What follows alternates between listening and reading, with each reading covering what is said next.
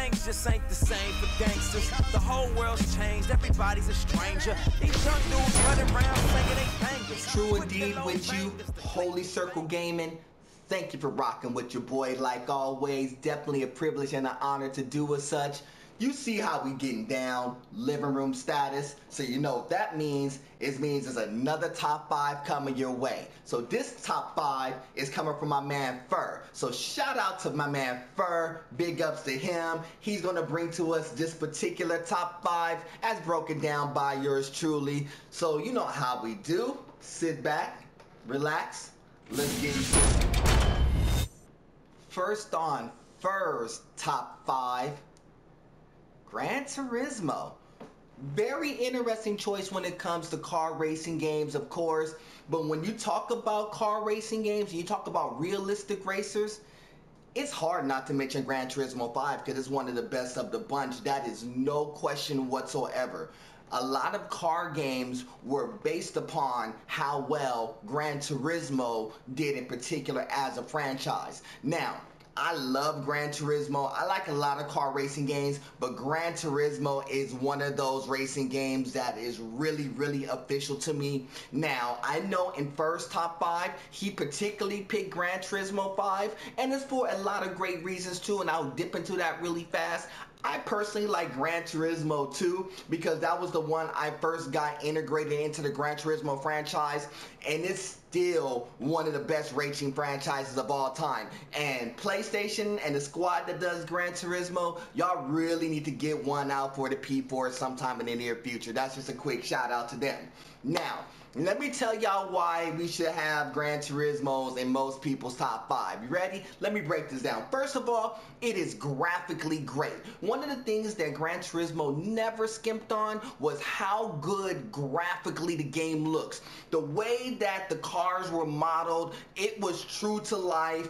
You know, everything down to every little itty bitty detail, whether if it was a standard Honda Civic or whether it was a Viper concept, it didn't matter the car they took their time to make sure that game was graphically fantastic. So shout out to them. That was one of the greatest things about it. Second things about that, going into like how graphically great it was, it was the how authentic the cars were too. Every single car that they had in the game was not a like, you know, one maybe let me rephrase that. One or two were maybe like, you know, designed up from scratch, but every single car in that game was a actual car, whether it was a regular car that you could drive on the street or whether it was a concept car, it was definitely a car that you could drive on the street. So it was definitely official the way that they put all the authentic cars all on one game and put it all together. And to tag onto that aspect, what made the cars actually more official is that they actually handled and responded like the cars would in real life. So if it was a front wheel drive car, it actually actually handled like it was front wheel drive. So you had to drive it completely different than as if it was a rear wheel drive and a wheel car, or let's say you was driving a Subaru, for example, which is all wheel drive, you could actually have the cars respond in all wheel drive. That's the one thing that they actually dialed in early on. And in Gran Turismo 5 is when they brought all of those aspects together to make it work. Real world, real cars, real feel of the cars, all three of which made them made Gran Turismo 5 match up to any car racing game that you put in front of. The other thing that you got with Gran Turismo 5, which is very important, is that they use real courses too. I remember seeing a lot of footage where they took a lot of snapshots and a lot of footage of a lot of real world courses and they actually integrated those courses to the T. So anything from like the dips to the way that it handled on the turns the way that the dirt was laid out, it was actually modeled very well in Gran Turismo, especially in Gran Turismo 5. But I think the most important thing I want to talk about when it comes to Gran Turismo in particular, I mean, it doesn't necessarily correspond with 5, but it corresponds to Gran Turismo as a franchise. You know what Gran Turismo did, which was extremely important? It made every other uh, video game developer who made a racing game adapt to what the, what they were doing. Doing. So what they were doing was putting real cars, real courses, real handling, real everything as much as they possibly can to make their game work. That's what they built the brand on, and that's why Sony had it in one of its top four or five franchises that ever came out of the Sony camp was the Gran Turismo franchise. And that's the reason why. So it forced teams like the team that does Forza to match up to do what Gran Turismo did and in some respects try to expand on it and make it better. So it made games like Forza now phenomenal because they always knew that they always had direct competition with Gran Turismo. So it's definitely a great choice in Fur's top five. So I definitely respect them for that. For me personally, I love Gran Turismo as a franchise. I think it's one of the greatest ones ever put together as far as like car racing games. It wouldn't be in my personal top five because I think I have Need for Speed like a notch more, but it's definitely a great choice by Fur. So shout out to him. That's his first choice in his top five. Next up on Fur's top five, Shadow of the Colossus. Now, I know this ain't the first time you heard me talk about Shadow of the Colossus because it's been featured on other people's top five as well, but I am going to break down a couple of different aspects that I probably didn't cover on the first one. Maybe I did, I'm not 100% sure, but I'm going to go through them real fast. If you want to see a deeper breakdown, see some of my other top five footages and you'll understand what I'm talking about when it comes to Shadow of Colossus. Definitely worthy of being a top five contender, that's first and foremost. One of the things that I have to give credit for, for for Shadow of the Colossus that I didn't do in my previous coverage of this one is when they did Shadow of the Colossus by game design from scratch, it was some real out of the box thinking for the time. Basically, they crafted the game on this premise. Bosses and that's it. No build up to the bosses, no nothing. You just have boss after boss after boss. So everything was a boss fight. That's what they built the game on as far as like gameplay premise and it was a very good premise to build upon because believe it or not, there is no other game that is designed the way Shadow of the Colossus is designed. You know, just going from boss to boss to boss with no build up. Um, one of the other things that I will retouch on that I did talk about in the other um, Shadow of the Colossus um, breakdown is that it's a very difficult game. This is um, Shadow Colossus at the time was touted as probably one of the most one of the top five games of difficulty to beat at that time, next to Ninja Gaiden and Donkey Kong in order to flip it, of course. But yeah, it was a very difficult game, very hard for people to kind of gravitate towards because it's very imposing. It is not for your casual gamer, even though I would recommend casual gamers to play it, especially at this point in time because it's a, definitely a different change of pace of games that we're getting right now, and it's definitely a different approach in gameplay. So shout out to the team that does Shadow the Colossus. They do a fantastic job when they made this particular game, and so I'm looking, I'm looking forward forward to their upcoming games, most notably The Last Guardian, of course, is made by the same team. And so we'll see how that transpires and if they take some of the elements of Shadow of the Colossus and import it into The Last Guardian. So we'll see as we go along.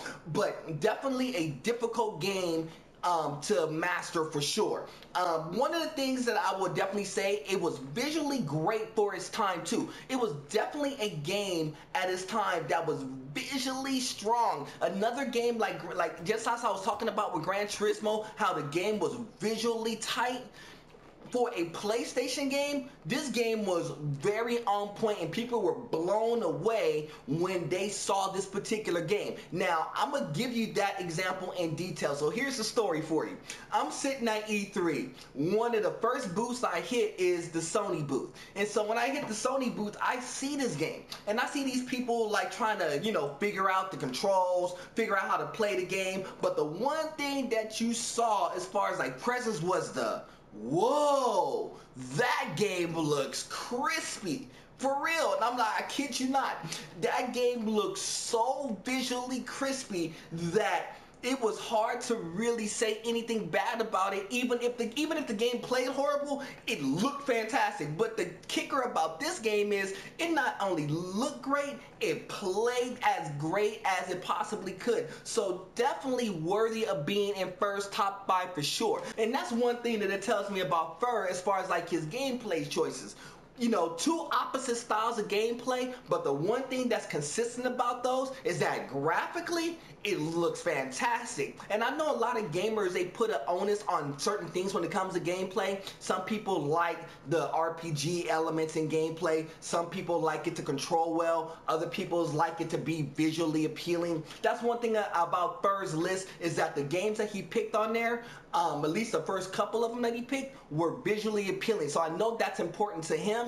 And I know for me as a gamer, I know it's important to me too to have games that are visually appealing to me as well. So definitely a great choice by Fur putting this particular game in his top five. That Shadow of Colossus. There go that game again. Marvel vs. Capcom 2. Now, I know you heard me break it down multiple times already. It's been featured in multiple people's top five, so I'm not gonna go into a big old speech and spill of how great this game is as far as like a fighting game is concerned. If you want to see more breakdown on Marvel vs. Capcom 2, check out some of my previous top five footage and you'll hear a more extensive breakdown of Marvel vs. Capcom 2. But I am gonna touch upon a couple of quick aspects really fast. You know, I could tell you about the balance of characters, of course. Y'all gonna hear much more about balance of characters when it comes to Marvel vs. Capcom 2 on my previous post. I already talked to y'all about that, so y'all know the balance of characters is one of the biggest keys to why they made Marvel vs. Capcom 2 and why that game became special. Also, by it being a arcade favorite and a console favorite, believe it or not, you know, that's one of the things Marvel vs. Capcom 2 was also. In the age where Street Fighter and Mortal Kombat dominated, it was Marvel vs. Capcom 2 and maybe a couple of other ones that kind of trickled in that kind of put its place into the fighting game genre and actually made a big stamp on it to people to the point where people will not stop playing this game. They will play Marvel vs. Capcom even to this day. That's how official Marvel vs. Capcom 2 is. But I think the most important thing that I would tell you about Marvel vs. Capcom 2 that I didn't get a chance to cover is simply this. You know what it did? It actually helped Street Fighter do without having to brand it under the Street Fighter title. Meaning that it gave Street Fighter characters more balance and to be able to flip between characters really fast. It's one of those things that Capcom wanted to do under its own title, under the Street Fighter title, but never really wanted to like test the waters to see if it was going to be official to kind of tag in and out like they did with Tekken Tag at this time, you know, but they were actually able to integrate those elements into Marvel vs. Capcom 2, which was actually a beautiful concept because what it did was allow Street Fighter to be Street Fighter, one-on-one combat, balance the characters out in that regard. And then they allowed the tag combat with Marvel vs. Capcom. But even with that being said, it also allowed for the extra balance of characters by adding the, the Marvel characters into the mix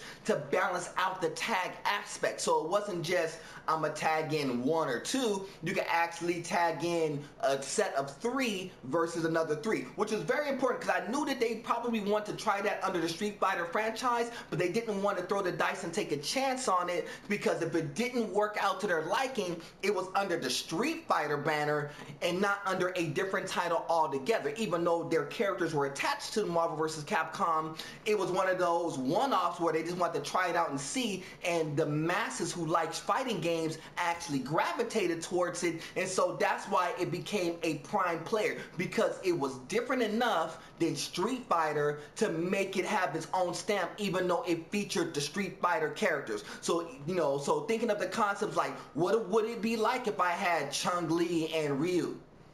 You could do that in uh, and you could do that Marvel vs. Capcom but you couldn't necessarily do that in Street Fighter. So they tested it out there. So it was very important for them to come out with Marvel vs. Capcom for that regard to kind of test it out. And they just kind of hit a gold mine with it. So shout out to the Capcom team for making that happen. But that's just one of the quick things I wanted to touch on is Marvel vs. Capcom. But being in Fur's top five, no questions. And a lot of people's top five. And that's kind of the biggest premise that I came across is like one of the games has been consistent as far as like top five breakdowns is Marvel vs. Capcom. Now, is it the highest selling game of all time? No. Is it the most played game of all time? No. But is it one of the most respected game of all times? Absolutely. So Marvel vs. Capcom 2, definitely a great choice in Fur's top 5. Let's get to the next.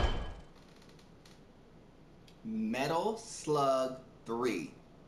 Now, when Fur actually put this into the conversation, it was a very interesting choice because it's one of those games that when you think about it on premise, it's like, wow, that's kind of a hard game to kind of weave into top five status.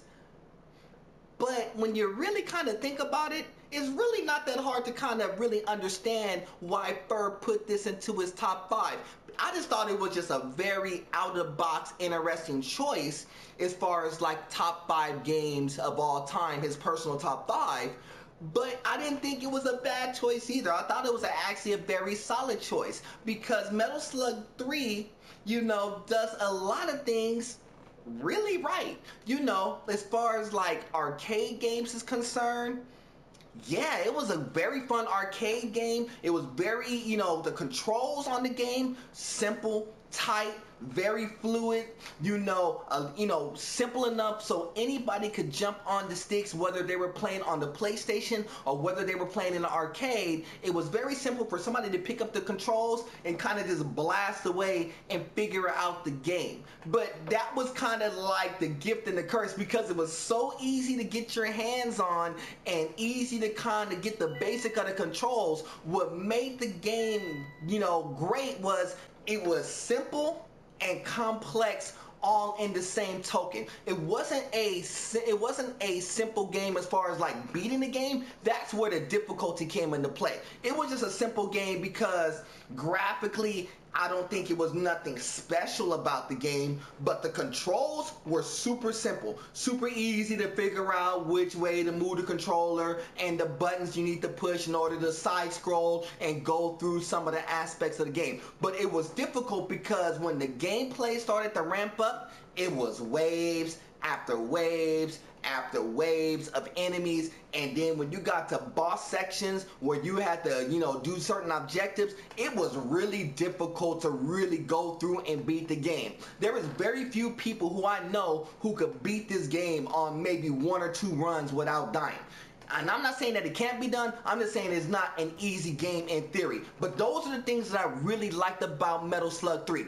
For a game, a co-op game, fantastic, primo choice. Not bad when it comes to co-op games. When it comes to control scheme, control schemes, like I told you, simple, fluid, translated well on console as well as arcade, top notch. You know, difficulty, you know, easy enough Fur your casual players, difficult enough for your hardcore players, can't be mad at that. So for to actually put this in his top five was a very interesting choice. Would it be in my personal top five? No. But would I sit there and actually get down and, and get in the arcade and actually spin this game or maybe fire up my PlayStation and play this game? Absolutely. That's one of the games that I would actually play with him. If he said, hey, yo, true, I want you to come through. We're to go to the arcade and we're to rock this game. I'd be like, cool, I'm down.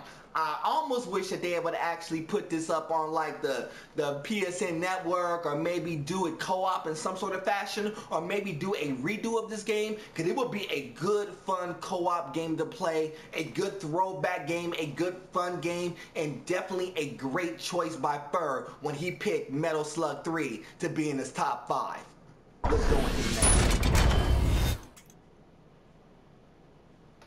And last up on the list in Fur's top 5, Mega Man Legends 2.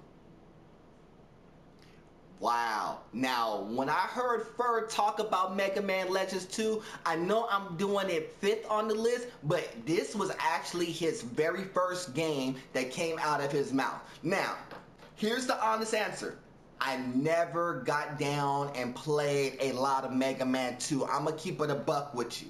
So, I can't really say if it's 100% official or not because I haven't played enough of it to really say that. So I'm going to be grown man and honest and tell you that. But I will tell you that it being a part platformer, part RPG, that is a very beautiful bridge. Now, is Mega Man Legends better than some of the old school Mega Man series?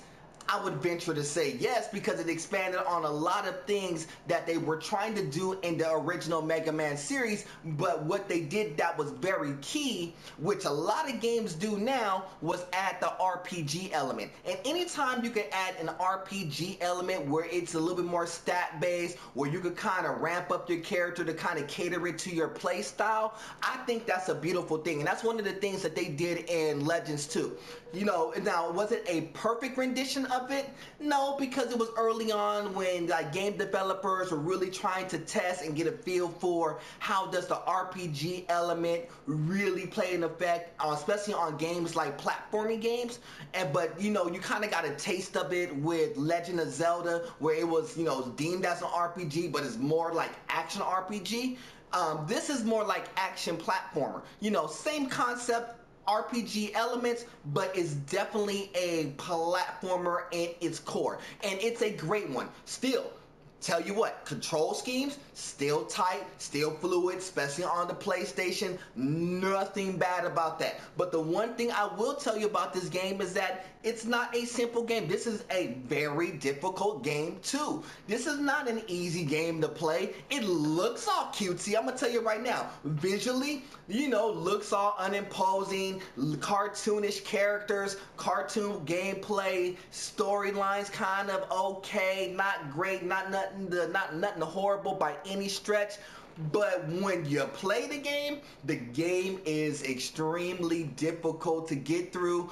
Um, most of your good gamers could make your way through this game, but your casual gamers probably not. But it's going to look like and feel like a casual game in every sense of the word, but it's not going to play like that once it starts ramping up. But it's definitely a great choice. Like I said, admittedly, I haven't played it, so I can't put my stamp of approval to say yes or no. But hearing it out of Fur's mouth, he puts his stamp of approval like it's the best game on the planet. Now, I ain't mad at him.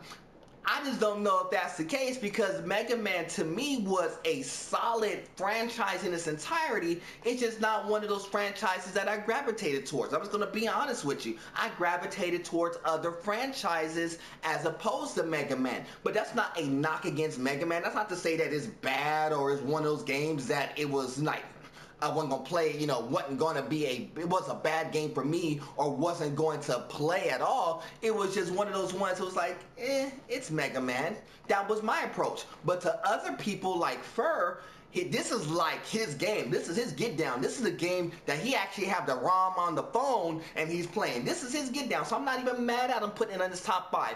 And the reason why is because how passionately he talks about Mega Man, I understand. Because there's a handful of games that I talk passionately about too. And you're going to get that when I break down my top five. But when he was breaking down his top five, this was the very first game Fur mentioned out of his mouth. And it's a great one. So salute to him putting it on there even though it may not be the masses appeal of a top five, it's his top five. And that's what I was looking for. Games that you're passionate about, games that you would rock with, games that you say that I will play over and over again, and here's the reason why. And that's what Fur gave to me when he broke down Mega Man Legends 2 in his top five. So salute to him. So there you have them. This is Fur's top five. Shadow of the Colossus, you know it got the goods. Just like Marvel vs. Capcom 2, you know that game has the goods too. It's in a lot of people's top five. Metal Slug 3, very interesting choice. Love it because it's co-op. Gran Turismo, the granddaddy of realistic racing games. Nod your head to that. And Mega Man Legends 2, the game that Fur is most passionate about. Not mad at the list at all. Great top five submitted by him. So y'all see him. Y'all tell me if y'all like him. Y'all tell me if y'all don't like him. Y'all tell me if y'all would sub some games out of those top five. Y'all tell me what you think. But I personally think this is a great composition of what a top five should look like. So that's how we do it, y'all. Another top five, another top five breakdown. We're gonna do it again soon where I break down another top five and see what y'all like about those. But until then, you know how we get down. For myself, Mr. True Indeed, you know what I represent, Holy Circle Gaming. You know how we do. It's God above everything. Until the next time, family.